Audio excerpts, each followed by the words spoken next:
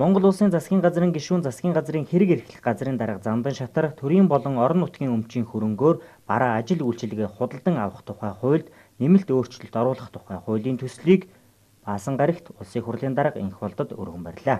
2005 онд батлагдсан төрийн болон орон нутгийн өмчийн хөрөнгөөр бараа ажил үйлчилгээ худалдан авах тухай хуулийг хэрэгжүүлэх явцад худалдан авах ажиллагаанд цахим системийг боловсронгүй болгох үйл ажиллагааг олон нийтэд ил тод нээлттэй байлгах, авилга ашиг сонирхлоос урьдчилан сэргийлэх, байгаль орчинд ээлтэй бараа бүтээгдэхүүнийг худалдан авах, үндэсний үйлдвэрлэл, дотоодын бизнесийн орчныг төрөөс дэмжих, түнчлэн олон улсын байгууллагуудад өргөн хэрэглэж байгаа урьдчилсан худалдан авах ажиллагааны тогтолцоог нэвтрүүлэх зэрэг асуудлуудыг хуульчлах практик шаардлага үүссэн байна